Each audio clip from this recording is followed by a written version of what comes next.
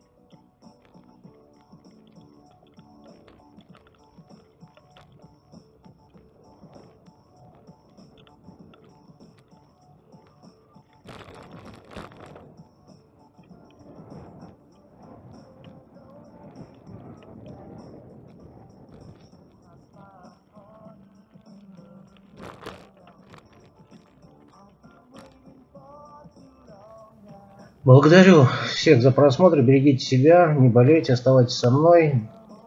Какие следующие сюжеты рассказал. До новых встреч в новых сюжетах. Всем пока-пока.